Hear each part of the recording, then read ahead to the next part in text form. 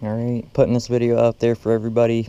A chainsaw with a toolless chain tensioner. I got a Jonsered CS 2250S. Picked it up. Someone apparently said it wasn't running right. Took it home and it started right up. So I started cutting some wood with it.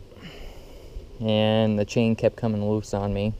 Finally figured out in the end that the chain tensioner here wasn't keeping the bar clamp tight enough to keep the keep it from moving, loosening the chain up. So what I did, went down to the hardware store, got me a probably 25, 30 cent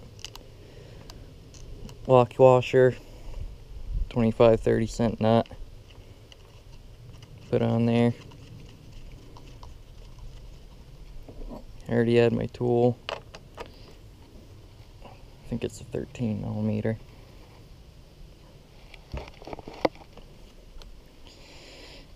Fits perfect. Thing hasn't come loose once on me since I've done that. It's just as easy to tighten and loosen the chain. Loosen that up about a turn and a half and I can loosen it, tighten it nice and quick. So